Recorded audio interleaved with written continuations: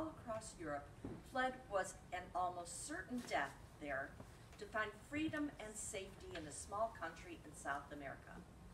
Most of them had never heard of it before, before there was nowhere else to run.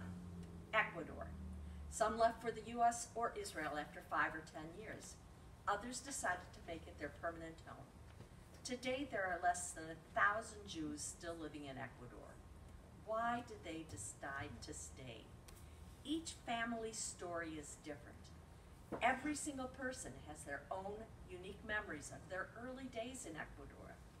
The Boy with Four Names is the story of one family and one boy who ended up with four names. You'll enjoy this book whether you're 13 or 30, 63, or maybe 83. so, um, I, this book is a historical novel. As Matt told you, I've written quite a few other books, but none of them have been even remotely fictional. The children's book is really a teaching, a telling a story to teach a lesson. And I've written histories, but boy, writing a novel, a historical novel, that really was a scary experience. And that's part of what I'm going to talk about today. How did I come to write this story? To start out with, I want to give you a little taste of this story. It starts out with a bang. Chapter 1 Abraham, A.B. Cohen, thought life was pretty good in 1935. He had just graduated from the University of Stuttgart with a master's degree in philosophy.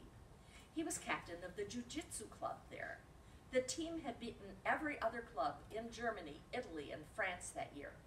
He had a beautiful girlfriend, Elsa Wagner, who didn't care that he was Jewish. The Nuremberg laws that Hitler's Nazi party had passed that year changed it all. Yom Kippur had ended the Jewish high holidays just a week earlier. Abi had gone to the small synagogue in Aurich in the northwest part of Germany, where his parents, Jacob and Yetta, and his brothers and sister, uh, uh, brothers and sisters, as they had done as long as he could remember. His family wasn't very observant, but Abi's and his brothers had become bar mitzvah, and Abi even continued to study Hebrew at the university. He just didn't see being Jewish and having a Catholic girlfriend as a problem but the Nazis did. In fact, even though the Nuremberg laws made their relationship illegal, he had planned to ask Elsa to marry him now that the high holidays were past. His parents didn't know this. They didn't know that Elsa existed. Abi invited Elsa for an early evening walk along the banks of the boat canal that flowed through the city's main park. The canal had sidewalks on both sides, and every block or two was a bridge was crossing for crossing from one side to another. Little houseboats and small barges were tied up to its bank for the night, and their lights and a few hmm. street lamps were the only illumination for walkers. It was a safe place, Abi thought, to tell Elsa what was on his mind and in his heart. Liebchen, Abi finally said, almost whispering, I want to ask you a difficult question. Elsa looked at him quizzically. I hope I can answer it, Elsa replied. Elsa, I want you to marry me, but first you have to make sure you are willing to make a sacrifice for us, he said, looking seriously into her eyes. I am a Jew, and it is now against the law for us to become married in Germany. Will you leave the country with me to be my wife? She turned away from him. Abi was not expecting this. He expected her to throw herself into his arms with joy. I've got an idea, she exclaimed, turning to him with a smile on her face. I think it would be better if you would convert to Catholicism and change your name. Mm. If we get married outside of Germany and you change your name there, your papers would say you're a Catholic, and your name would not be a Jewish name. Abi looked at Elsa as if he were seeing her for the very first time. He stared at Elsa in disbelief, forgetting where they were, out in public. He shouted her, How can you ask me to give up being a Jew? I am a Cohen, and the same blood as Moses and Aaron's runs through my veins. I could never depart from that heritage. What you want is impossible for me. He'd never realized how important being a Jew was to him until that moment. In a flash, Aby realized that he had made a big mistake. The mistake was not about falling in love with Elsa. The mistake was shouting out loud that he was a Jew. Within seconds, a whistle blew and a policeman emerged from the shadow of a street lamp. The policeman called him, Stand right where you are. Aby was paralyzed with fear. Elsa stood trembling. Aby knew that for him simply to walk together with an Aryan in public was against the law. The policeman walked up to them with his baton in his right hand, swinging it slowly in a menacing way. Aby's body began to feel tense. He felt like a screw was being wound up inside of him. Aby tried to size up the policeman as he approached. He wore the standard uniform of Aarhus police force, but he also wore a pin with a swastika on it. The man was a Nazi. He was a bit shorter than Aby, but about the same build. Your identification papers, the policeman demanded.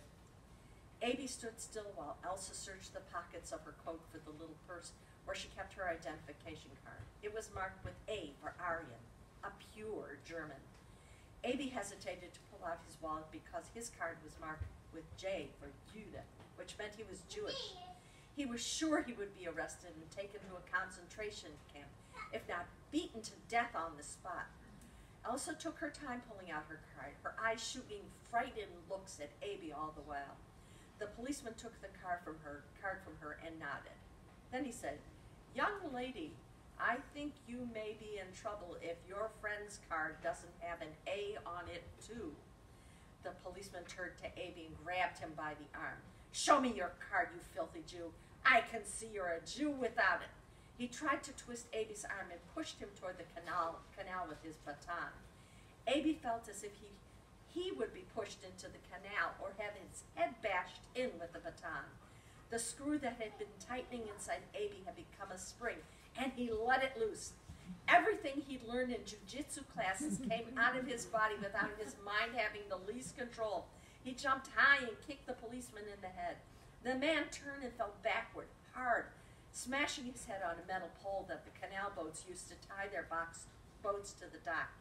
The policeman was nearly unconscious, stumbling back and he fell into the river, sinking quickly. What's going on here? shouted voices from boats tied up on the canal. Run, Aby, Elsa shouted. Run as fast as you can. Aby hesitated for one minute just to take a final look at the woman he had loved. Would he ever see her again? And then he ran. Wow. I've got a question for you. This is a historical novel. Aby Cohen is a real person. Did this really happen? Maybe. Anybody, Do you want to def- like yes? you think it really happened? Mm-hmm. If it didn't happen to him, it happened to others. Uh-huh. It happened too. Aby did kill someone, but we never knew how he killed him. But his brother was engaged to the non-Jewish girl and was taken away to a concentration camp. So this book is full of historical things. Some of them happened to a certain family and to a certain boy, and others happened, could have happened to them. So, why did I decide to write this novel? Next slide. Well, this is the Cohen family. Aby Cohen is not in this he was a very old man when this was, picture was taken. But this is his son, Enrique, Hank, Enrico.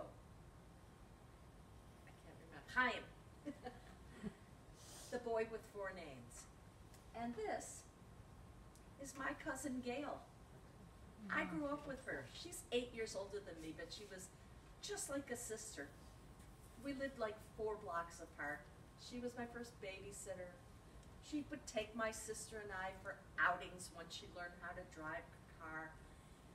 She was she was the best cousin you could ask for. That's her mom, my aunt Hannah, and me. And I was visiting in Ecuador in about 1993, I think that picture was taken. And uh, it just coincidentally, Aunt Hannah was visiting at the same time. So it was a nice little, that's me. so when I grew up with my cousin, right a few blocks away. And when I was 12 years old, and Gail was a junior at the University of Michigan, uh, her family was supposed to come over to our house for a holiday dinner. And she brought this tall, skinny guy along with her. He had a really strange accent. And I learned out that his name was Hank Cohen, and he was from Ecuador. I'd never heard of the country. he had a rather strange accent. It wasn't really Spanish, like, you know, Mexican or something like that. It, there was something sort of European about it. Well, anyway, uh, that was when I first met Hank and learned about Ecuador.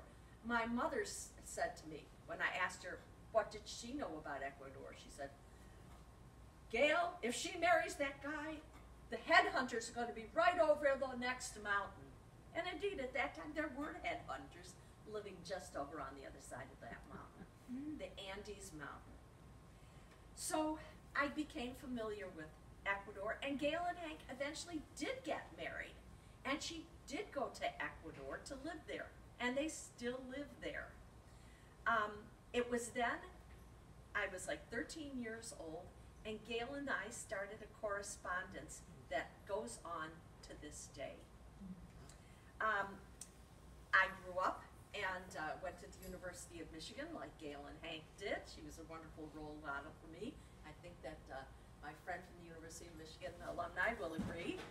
Wonderful decision. But it was a wonderful time to be at Michigan and just to be a young person at that time in the late 60s, early 70s. Next picture. Because President Kennedy in 1961 had signed the Peace Corps Act and the first volunteers arrived in Ecuador in 1962. It was, I was a Spanish major, partly inspired by Gail, and I wanted to be able to speak Spanish well, not just what I read in Don Quixote. Um, and I was, you know, it was the hippie years, and I was wanting to do something great for the world, and the Peace Corps was calling to me. And so I made my application. Of course, I put down that I was a Spanish major, but I didn't give a preference for a country. The Peace Corps made that decision. When the letter finally came from Peace Corps telling me that I had been accepted, thank you, I know there is a God because I was assigned to Ecuador. I couldn't believe my good fortune. I was going to go to a country where somebody actually, I knew somebody there. Wrote Gail, she was excited, everybody was happy. Um, next picture. Now, like most of you, um, I'm a flatlander. I, I was born and raised in Michigan. It's pretty flat there. Uh, you're most of you are Minnesotans, uh, or if you're not native, you've been here a long time. It's flat here. And so after training for Peace Corps in uh, Puerto Rico, we finally took off right after Thanksgiving and landed in Quito. And this was the first thing I saw when I got off the plane. It took my breath away. And of course, being at 9,200 feet in altitude, it took it would take anybody's breath away. Well, I just fell in love with the country there and then. Um, lot more things to fall in love with. Next picture. There's history there in Ecuador, going back to the Incas. This is the uh, ruins of an Inca fortress, fortress called Inca Pirca. That's in the south central part of Ecuador. Uh, next slide. In Quito, the downtown Quito, the center of Quito, the colonial center, is a UNESCO World Heritage Site. When you're walking down the streets in Quito, you feel that you are transported back into the 1500s. They have maintained the center in fantastic shape, and the churches and the architecture are just amazing. Uh, next picture. And of course, there's the Equatorial Monument. Uh, back in the 1700s, a French scientific group uh, came to Ecuador and they uh, determined that the equator ran through, they knew it was more or less where Ecuador was. It's, of course, Ecuador means equator. Uh, and they set the equator uh, at a certain point. Lo and behold, uh, about 40 years ago, when we started having satellite uh, uh, geopositioning, they did a second reckoning as to where the equator was, and they found that the French group was 35 feet off. Can, I, there is a book, I don't know if we have it here at Magers and Quinn, called The Map Maker's Wife, which tells the story of how the French team determined where the equator was. It's just an amazing story. So there's all these wonderful things that were so different from Detroit uh, that I, I just immediately became my second country.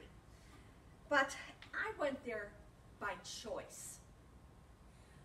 Gail's husband, Gail's in laws, which included her husband, his mother, his father, and his maternal grand, grandmother and grandfather, had come to Ecuador. Not really by choice. They had been rejected, refused entry to just about every other country that they had applied to.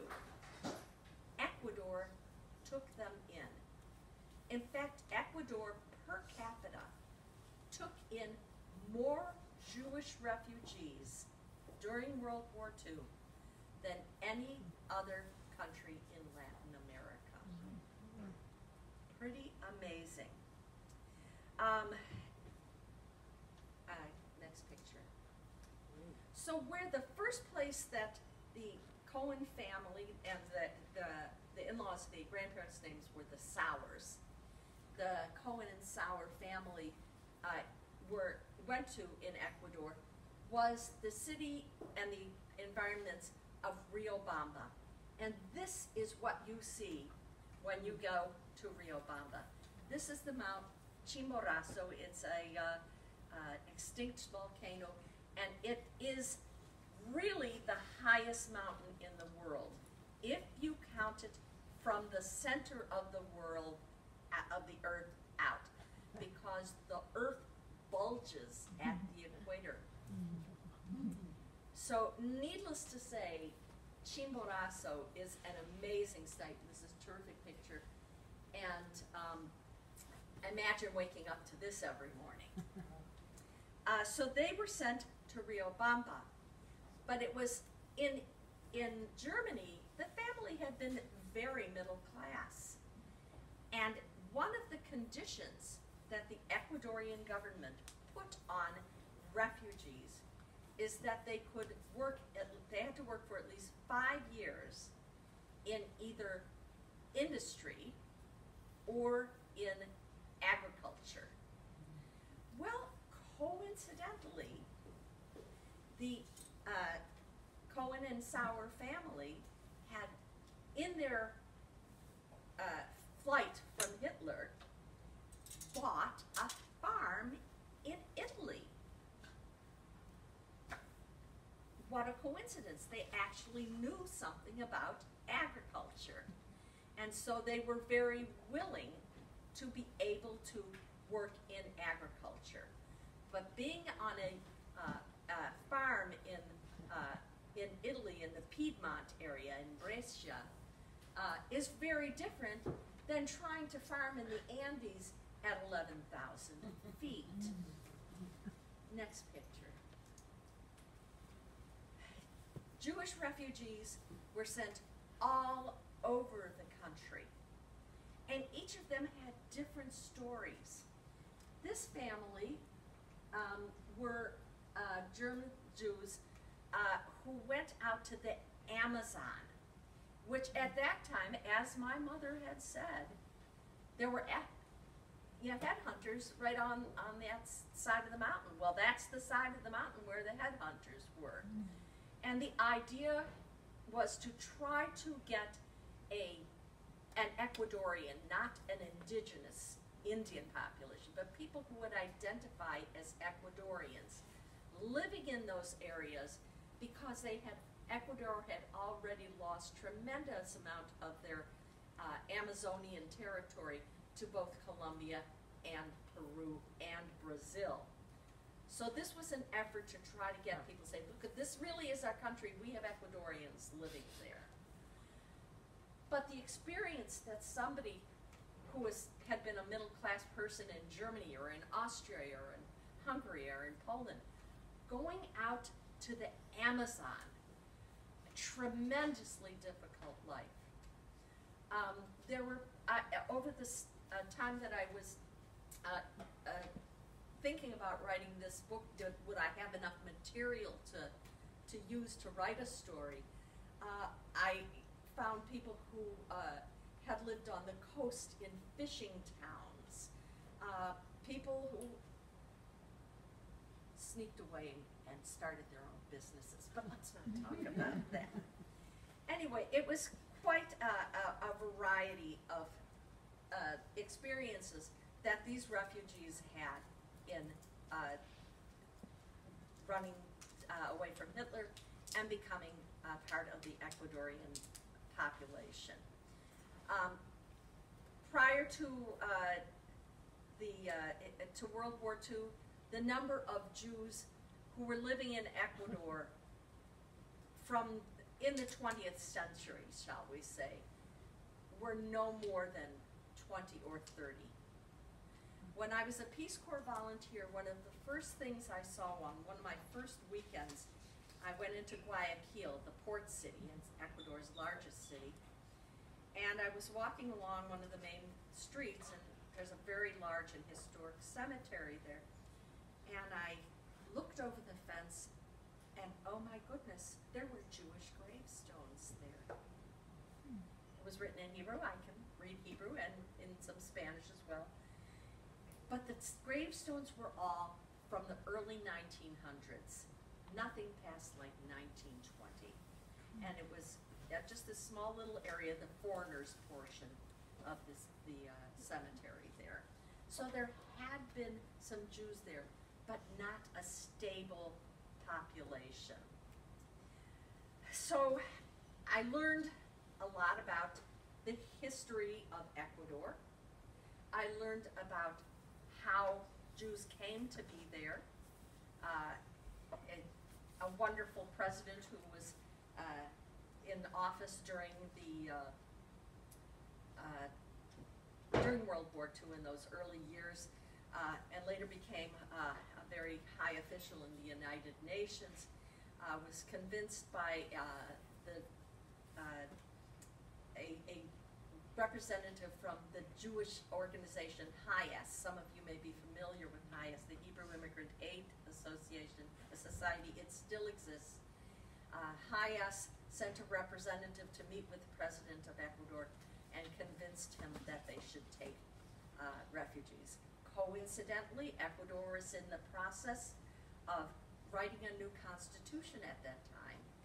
And as luck would have it, they chose to institute in their new constitution that Ecuador would be a haven for refugees from all countries where they're being oppressed. And they have kept that promise through several waves of refugees.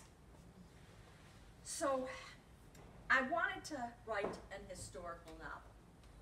Um, I had a, an arch of a story the Cohen and uh, and Sauer family, what their story was in Europe, what their story was in Ecuador. I went uh, and uh, in uh, 2019, just before COVID, was down in Ecuador and I had a long, long interview with uh, Enrique, with Hank as he's known in our family, and asked him a hundred different questions about his family's immigration story. I learned about them arriving in Rio Bamba. But a lot of the things that I asked him, he couldn't answer because A, he was two years old, and B, what we've heard from so many survivors, so many people who've fled from the Holocaust, nobody wanted to talk about it. But I had an arch of a story. I had a historical background of what was going on in Germany and in Italy at that time because, as I said, the family had originally start, had uh, gone to Italy. And so I, I was realized I'm going to give it a try. I talked to various people in the publishing industry, and they reminded me of some important things if I'm going to write a historical novel. Number one, make sure that your dates and uh, your things that happen are right. Make sure that your timeline is accurate. And I really had to work at that. Number two, make sure you don't have any, any anachronisms in the book. My favorite anachronism is I remember reading uh, one a Leon Uris book, and it was taking place in biblical times, and they're talking about people in the marketplace roasting corn. And I thought, how did they get past the, the that past the, a, a good editor? Corn is a new world food. this thing is taking place in in uh, and you often hear the word corn corn. It it's refers to grain, but not roasting it on a spit like corn on the cob. Okay, make sure I don't have any anachronisms. Another one, very famous that uh, evidently in the um, movie Braveheart uh, about uh, William Wallace uh, in Scotland, some warrior was was filmed with a wrist- wristwatch. so I'm, I had to make sure that I didn't put any anachronisms in this book. And I had to make sure that my locations and my uh, dates all uh, were in sync with each other. And as I said, I had this problem that Hank was just too young to remember a lot of this stuff. So, next picture, please. No, that's good. Oh, this is this is one of the few references I could find online for Jews being in Ecuador prior to World War II. This is an article from the newspaper in Guayaquil from what's the date? Anyway, it's it's from like 1920, and it's a Jewish merchant who had a, a dry goods store right on the main drag in Guayaquil, right by the Guayas River. Great place to have a store. Um, so, but there was nothing else that I could find out about Salomon Nahon. Uh, he came, he left, left, his, his grave was not in Guayaquil. Next picture, please. So, I needed to find other sources of information. Well, thank you, Internet, one more time. Um, Googling around on Facebook, I found a Facebook page called Jews of Ecuador. and they were all people like Hank. People who, for the most part, were in their 70s to 90s, and a, a number of them younger. The older ones were had remember leaving Europe and their transit to Ecuador. Others were born in Ecuador and lived their early lives there. And some were people who had lived their whole lives in Ecuador. I asked to be a member of their group, explaining that I'd been a Peace Corps volunteer and I had lived there and visited many times. I told them about that I'm related to the Cohens and the Sauers. Uh, and they were glad to have me join the group. I explained to them what I was trying to do and what my problem was that I didn't have enough original source beyond what Hank could tell me, and he could only tell me so much. So I asked them if they could share their stories. Well, they came through like gangbusters. So many stories that I could never use them all in the book. But it was fascinating to read them because there were so few of them that were had a lot of similarity. Each story was very, very different. So I had to really work, read through all these stories, edit these stories to find which ones might work in my book in one way or another. But another thing that I really needed was more of those that background, that historical background. And there just aren't too many books written about the Jews of Ecuador anywhere. I was able to find one that was given to me. Uh, it's a it's in Spanish. A Spanish major lived in Ecuador for a couple years. Still speaks Spanish really well. But I hadn't read a book in Spanish since I left Ecuador as a Peace Corps volunteer. Know, newspaper, magazine. I hadn't read a. But uh, one of my Peace Corps friends, who happens to be Jewish, who stayed in Ecuador and married an Ecuadorian woman, gave me a book written by an Ecuadorian Jew who is an academic, and he had written a very academic book about Jews who were living in Ecuador. A lot of, um, uh, what do you call those things? Uh, statistics, etc. Great. And then just after I, the book got published, wouldn't you know?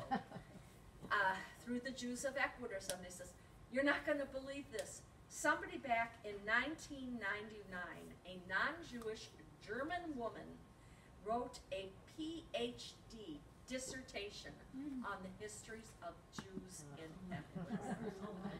300 pages. I couldn't put it down. Was fantastic. Um, but like I said, if I ever want to do a, a an e- expanded version of this book, um, it, it would be great. But once again, it's not all that well known because it had been written in German and only got translated into Spanish last year.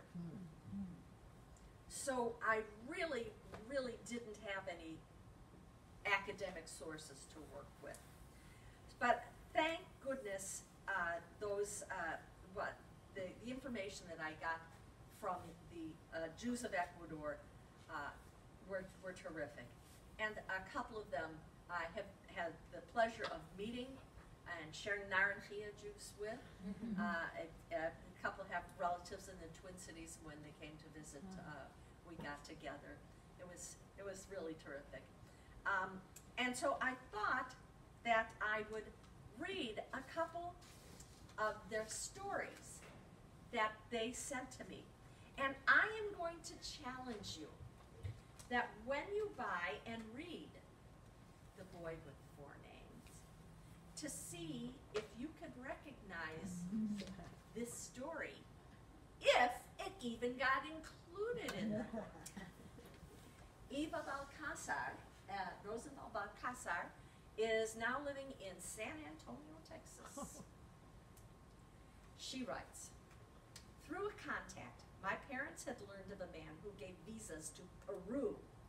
We had no money as we were allowed to take out only 10 marks per person. Mm-hmm. However, while still in Germany, my father bought three tickets to travel by ship to South America, as he knew that in Paris we could obtain visas to Peru.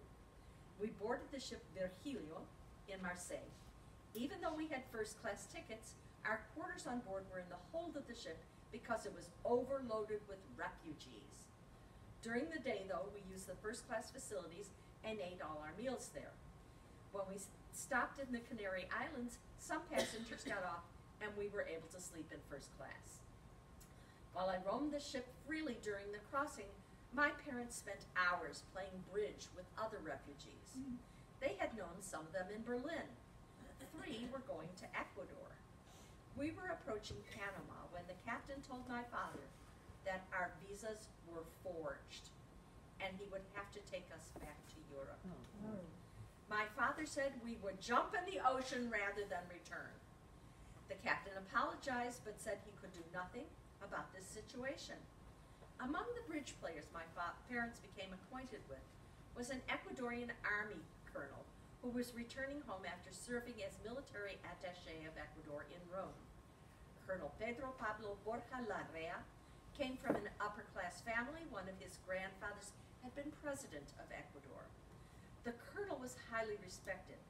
When he heard of our plight, he told my parents, if the Peruvians don't want you, we Ecuadorians will welcome you. Wait, later, we learned that Ecuador and Peru had been rivals for many years. On New Year's Eve, 1938, we landed in Colon, Panama. Colonel Borja took my parents to visit Ecuador's consul. In search of the consul, they went to a party at a hotel where Colonel Borja found the consul and asked him to issue a visa for my parents. The consul said it would be an honor to accede to the colonel's request. Mm-hmm. On the visa was written, Colonel, a courtesy of Colonel Pedro Pablo Borja Larrea, and that's how we ended up in Ecuador. So remember some of these things that happen and see if you can find them, if they're there in the story. Next. Walter Carter passed away a few years ago, but uh, his daughter sent me this information. We traveled with a group of maybe 80 others in a closed passenger car through occupied France to Spain. From Barcelona, we were in the converted cargo spaces of a Spanish freighter to Cuba. There we were interned in the detention camp, Tiscornia, above Havana, for some weeks until Jewish organizations like HIAS and HISA, or the Jewish Joint Distribution Committee, arranged for our trip continuation. The planned travel through the Panama Canal was barred to us because the U.S. had prohibited our transit as enemy aliens. They were Germans. So we went by a small ship to Barranquilla, Colombia, flew from there to Ipiales, Colombia, and then crossed on foot over the border bridge to Tulcán, Ecuador. There, the Quito Jewish community awaited us with a number of taxis who then drove us to Quito. Hmm. So remember this. See if you can find this in the story, if it's there. The next, Elio Schachter. He and I have become quite chummy on Facebook, but even more, the world is only so large when you're Jewish. I noticed that Elio Schachter, who is a professor emeritus of biochemistry at uh, University of California, San Diego, has his Facebook, uh, Facebook friend Erwin Rubenstein. Erwin and I are not related, but we worked together for 13 years at the University of Mich- uh, Minnesota, and he retired to San Diego. and he and Elio Schachter, both biochemists, got to know each other. the world is only so large. Elio Schachter. He has two stories that I wanted to share with you. In Quito, my Italian identity, dubious as it was, counted for little because few kids my age came from Italy. Most of my new friends were Austrian and a few German, and what did they know about Italian Jews? Abruptly, I was no longer the Italian Jew I aspired to be. In my new group, I was typecast as an Eastern Jew, not without some log- logic because I didn't speak German. The refugees brought along to Ecuador their full baggage of attitudes and prejudices, including making a sharp distinction about what kind of a Jew one was. The distinction was between the Germans and Austrians on one side, the Poles, Romanians, and Russians on the other, and there were even finer splits. The Czechs, for example, wanted to have nothing to do with anyone else. Language and accent gave away who was from where. Initially, the social contact between the groups was limited. Each group had its own social club, and its members studiously avoided the others. Eventually, the rifts became less important for the adults as well, in part because the Quito community was too small to support these divisions, in part because people came, began to realize how absurd this was in light of the cataclysmic events in Europe. The kids my age had an easier time getting along and overcame these barriers more rapidly and easily. So uh, keep that in mind. But think about this. He's talking about living in Quito that had a population, uh, you know, a Jewish population of maybe a thousand at that time. Think if you were a Jew living in Manta, Ecuador. There's a woman I met here in town. She's married to a former Peace Corps volunteer. And uh, we were having an event for former Ecuador volunteers. And they had only recently returned from Ecuador. And I'm talking with her, she looks very Ecuadorian. Her name is Maria. And uh, uh, I look, and she's wearing a Jewish star. What's going on? So she went off to get some food or whatever, and I said to her husband, your wife know what that star means? He says, Of course she does. She's Jewish. oh my goodness.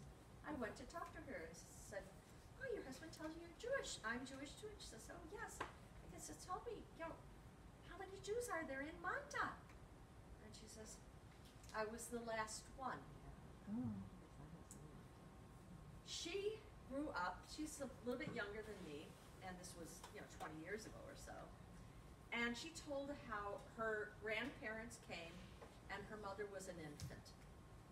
And they were sent, as they were told, to a place where they could work in agriculture or, in, and her, her uh, grandfather was working in the banana plantations down there.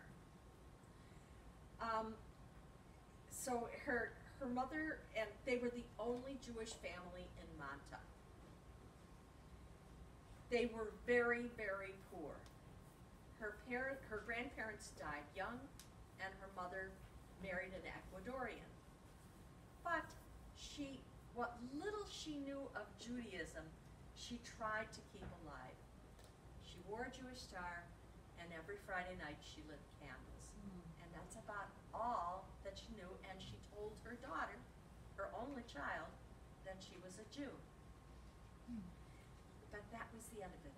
They were so poor that they never left Manta. They thought that there were no other Jews in Ecuador. They were mm-hmm. so isolated. Their story cannot be unique. There had to have been others like them. Okay. So let's hear Elio Schachter's other story. In time, I felt that I was accepted by my classmates and gradually ceased to feel that I did stick out. Part of me became Ecuadorian, and I could react, behave, even joke like a native. I was aware of being compartmentalized, but passing for a Quiteño was something I did spontaneously, and it felt good. Surely I had to thank my Italian, hence Latin, background for this mm-hmm. relatively easy adaptation. Paradoxically, getting used to living in Quito was less of a problem for other refugees than it was for me. Most of them had no intention to assimilate into the Ecuadorian community.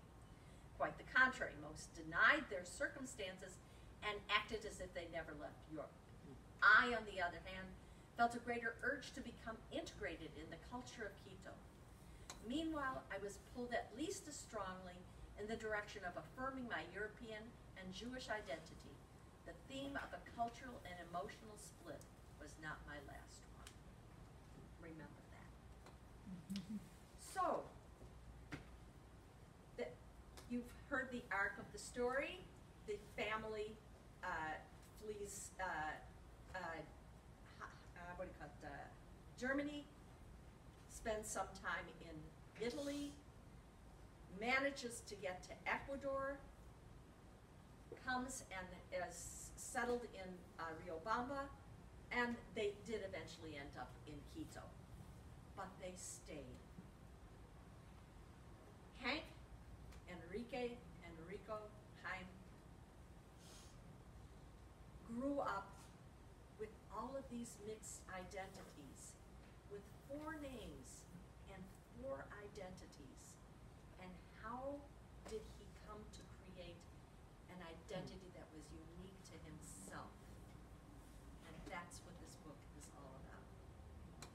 Are there any questions? Did they, did they know how bad things were back in Europe? So like the families that you described, like the picture that you showed of the family in the rainforest in the Amazon, like they were not having an easy life in the other family you described, Maria's family. Yeah. Did they? They- and they so- are- so they- Did they know how, how bad it had gotten after? Yes, the because just about all of them had lost relatives already. Okay, at that point, Yeah. okay, all right, yeah, I wasn't sure. Yeah, because the, the Nuremberg laws took place in thirty-three, but really went bad in thirty-five. Okay, and or they didn't leave until like thirty-eight, thirty-nine. The Cohen and, the Cohen family, the, uh, A, parents, uh, left earlier. They Okay. left, uh, in like thirty-six or so, I, Okay. I have to check here. Uh, but, uh, it's a very interesting story how the, uh, parents, grandparents, Sauer, ended up leaving Germany. I won't ruin that story. Any other questions? What did Hank think of the book? He loves it. But he says, you know, he says it's, it's not like reading about his life. Yeah. Because, and especially if it's not like reading about his parents' life, because they told him so little. Yeah. That's How did your cousin meet Hank? at, at Michigan. Okay, so Yeah. and And, that's a and, and the book sort of hints at how he ended up at the University of Michigan. okay. How has the uh, Jewish population grown in It or hasn't. decreased? Right now, there's only about 500, 600 Jews. There's uh, a beautiful synagogue in Quito. It was built about 25, 30 years ago when there was an influx of refugees. It was more than that, in fact, um, when it was built. Uh, the uh, when uh, Pinochet took over in Chile, uh, from, uh, after uh, Allende was deposed. He was a fascist, and he made things really hard for the Jews. And the Quito, uh, the Ecuadorian government and the Quito Jewish community said, come on up. Well, they came, and they brought their money with them. They did not know how long they were going to be staying in Ecuador. So they had all this money, and they said, let's build a synagogue that can accommodate all of us. There were like three or four thousand, if not more, that were in Ecuador at that time. So they built this giant, gorgeous synagogue. It's really nice. Um, but uh, Pinochet eventually uh, was deposed, and many of them went back or decided to stay in other countries. They moved to Israel or came to the United States. I knew a, a Chilean Jew uh, when I was working in New York, living in New York, uh, who was one of those who had fled from Pinochet. So after the Chilenos left, very few of them stayed. Who was left but the 500 or so Jews in Quito? The Guayaquil Jewish community has grown a little bit. There was there was no synagogue in Guayaquil when I was a Peace Corps volunteer. They had a Jewish community center that I didn't even know about, mm-hmm. although it's the Jewish Community Center was one building away from the Peace Corps office in oh. Guayaquil. they didn't want to have a high profile. Back in when I was visiting in 2019, um, I went. They had this new historic park on the outskirts of Guayaquil. My friends took me to the historic, park, and there they had transported the building to this historic park. Um, it's just sort of like Greenfield Village in, in outside of Detroit. They transported historic buildings. And I said, I know this building. It was on the corner of Guayaquil and Nueve de Octubre. Yeah, that's it. Well, while doing the research for this book, I learned that the Jewish Community Center was in that building on the second floor, and I had been on the second floor of that building in the park. I said, boy, this is really spacious. They can have some great parties in here. Well, they did. They had bar mitzvahs, they had weddings, they had you know, all kinds of things. Never knew about it. Whereas in Cuenca, with a smaller Jewish community, um, a sainted man who kept the whole thing together, Kurt Dorfzaun, may he rest in peace. Um, they had a little tiny synagogue that was looked like the Dorfzauns garage, but it wasn't. And a little Jewish star over the top of it though. So if you were looking in that part of town, you might find it. But uh, Katz's uh, butcher shop there in Cuenca, they made a veal sausage that just. They didn't carry pork. There wasn't a kosher butcher shop, but they didn't carry pork, amazingly. So really, this, they got, I got a small synagogue in Guayaquil, and they've also got a Chabad house. Um, cause they get They're everywhere. they're everywhere. So that's the uh, Hasidim. So uh, it's a very small. They're they're holding their own. Any other questions? Is your blouse from Ecuador? Yes, it is. it's a gift from one of my students from when I was uh, teaching in, in Peace Corps. When I was down there in 19, we got together, and Jorge and his lovely wife gave me this Beautiful. one. So, thank you. Any other questions? Thank you. Well, thank you so much. I hope you Thank you.